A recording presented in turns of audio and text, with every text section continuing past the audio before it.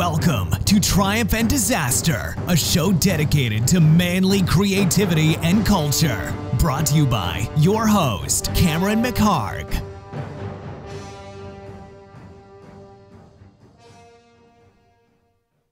Hey guys, this is Cameron McHarg. I am the creator of the Triumph and Disaster podcast and blog. The blog is at triumphanddisasterblog.com, and I encourage you guys to go check it out. Check it out often. So when you look at guys uh, past and present, like Ernest Hemingway or Sam Peckinpah or Steve McQueen or uh, Joe Rogan or Henry Rollins, Chase Jarvis, John Huston, Hunter S. Thompson, Bill Burr, John Milius, uh, Lee Marvin, Clint Eastwood, Charles Bukowski, Joseph Conrad, Tom Hardy, even just the list goes on and on what this is all about basically is a celebration of uh, culture and creativity for guys guys. Um, that's the through line here. Uh, a little bit about me. I grew up uh, in the pacific northwest in a city called everett everett washington which is basically kind of a working class blue collar town. A lot of people work for boeing. Um, used to be sort of a pulp mill kind of logging town. And i grew up around kind of a tough group of dudes, really. You know, we ended up uh, kind of running around, getting in trouble, drinking beer and stuff pretty early, and trying to chase girls and doing that sort of thing. And uh, you know, these are some pretty rugged, rugged guys up there. But I was kind of a sensitive, sort of artistic kid. But the thing was, is I kind of had to keep it, or at least I felt like I had to keep it on the down low a little bit. I didn't really fit in up there. You know, I didn't fit in with them, and all my buddies knew who I was, and and they knew I didn't really totally belong. I mean, I had one foot there, one foot somewhere else. You know, and uh, I ended up joining the Marine Corps because I was a little lost. Um, when I was younger, I was really involved in drama. I used to draw a lot, that sort of thing. But like I said, I kind of had to keep it on the side. And when I was in high school, I had to just basically, or I felt like I had to sort of just eliminate it altogether just wasn't a cool thing to do. And uh, when I got out, I had this moment where it was a real moment of desperation when I was young. Uh, you could even call it a nervous breakdown. It was something where I just felt like I had to be really honest with myself. I wasn't on the right track, and I was forced to sort of confront myself. And um, so I got back into doing what I loved, and I got back into uh, into theater and acting and the thing was, is I still kind of looked a different part. It felt a different part. And in a lot of those worlds, at least at that you know place and at that time, you know, by a, look at me, you wouldn't think that I would do that. Or if you were involved in that, you you know maybe I wouldn't. Uh, I would be instantly disrespected for you know being a certain way. I remember going to a retrospective for Monte Hellman. He's this director from the late '60s and '70s. He's still around. Um, he directed like Two Lane Blacktop and uh, some other movies I like. Ride the Whirlwind, Jack Nicholson, late '60s. These were, were the existential westerns. And uh, so I went to this retrospective, and I remember this guy, you know, this sort of black turtleneck kind of guy. Uh, actually said something like in line like are you sure you're in the right place you know this isn't star wars and i was just uh, I, I was pissed but i just you know I, just kept it to myself because I actually probably knew more about Monte Hellman than he did. But it's it's just a certain uh, image, you know, that I have and, and that I had, and and uh, I didn't fit in, and I felt like I didn't fit in. But then, looking back at, at these kind of guys, these are the kind of guys, the kind of filmmakers, the kind of writers, the kind of actors that I love. I love the most, and they're really fucking good.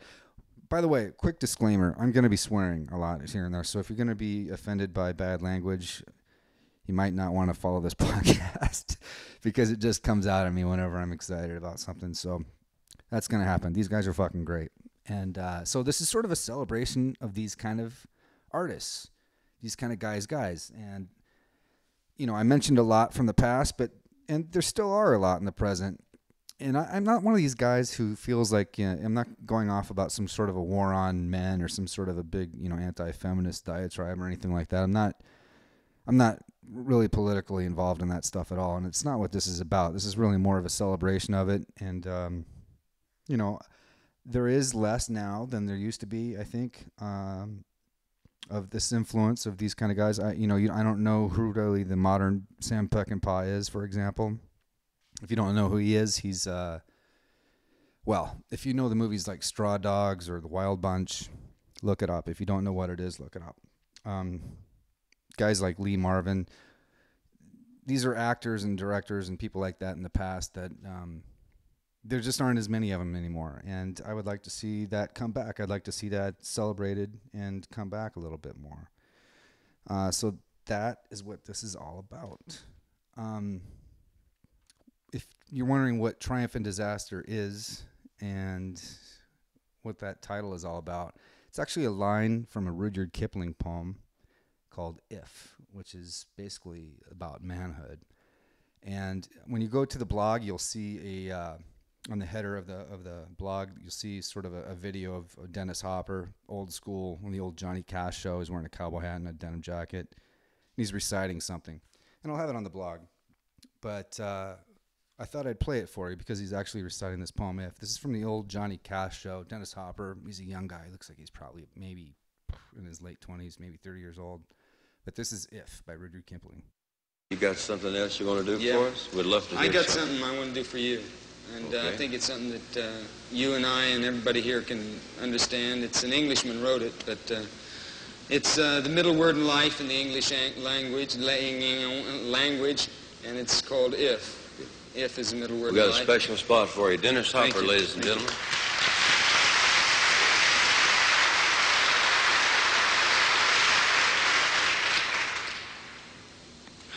You.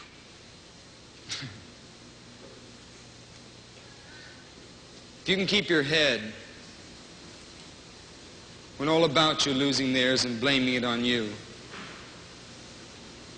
If you can trust yourself when all men doubt you, but make allowance for the doubting too, or being lied about, don't deal in lies, or being hated, don't give way to hating. And yet, don't look too good nor talk too wise. If you can dream, but not make dreams your master.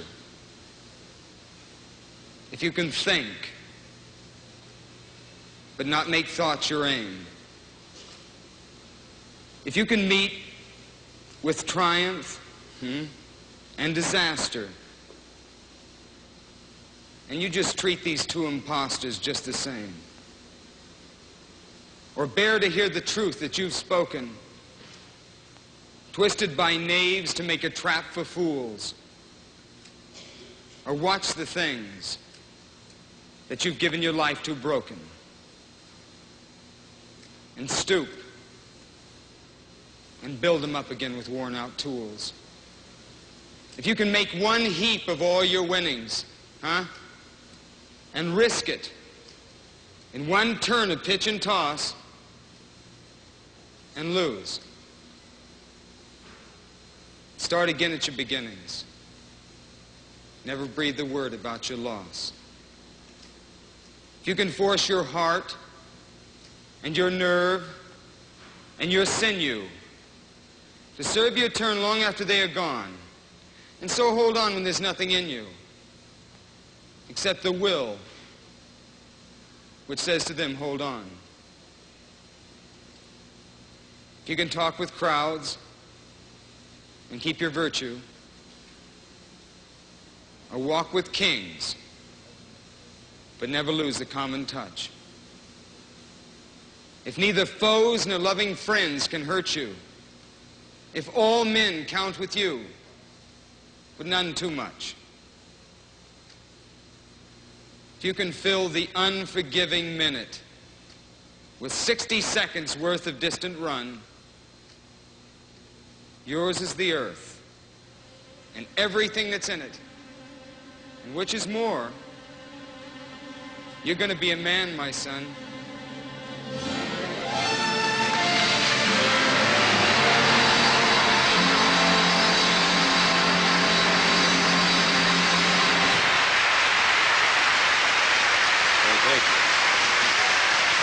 I want to remember that to tell John Carter someday.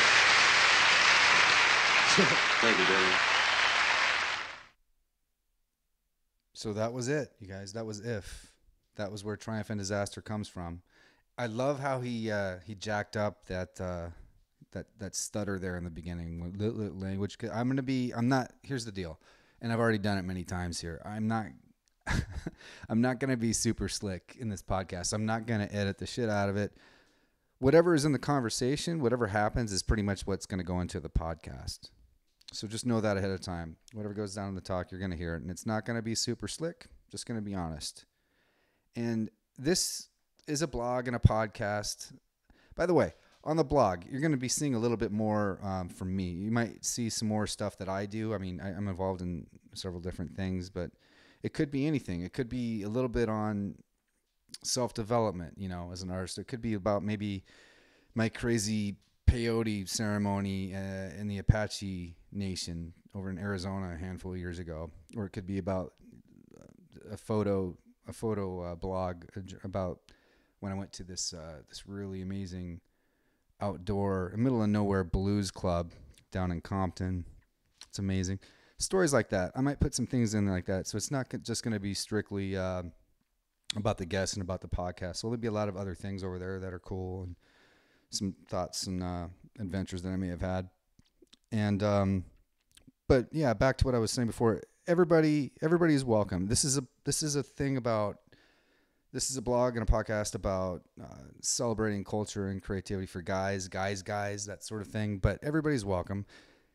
It's not some sort of anti-feminist thing. It's not some sort of war against men thing. Nothing like that. It's just a celebration of it and sort of a, a push for a revival of it of uh, of this kind of creativity. So it's really about living life with your eyes and your mind fully open, with full expression, and with your and with balls completely intact. All these guys that I mentioned before, these artists, this is art with balls, you know, and this is what I respect. This is what I want to encourage.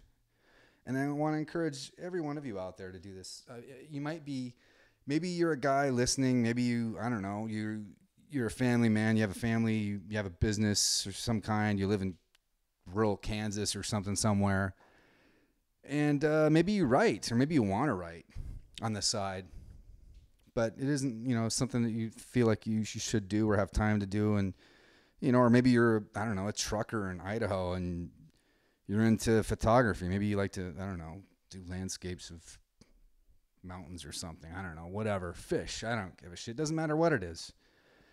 It doesn't matter what it is. I just want I want uh, I want this to be something that helps you uh, realize that uh, there's a lot of guys out there like you, and uh, they're doing some really cool shit, and I want there to be more. So, thanks for being a part of this gang. I'm looking forward to to having you here. Subscribe, give good reviews, pass it around, stick around email me, comment. I'm looking forward to it all. Thanks a lot.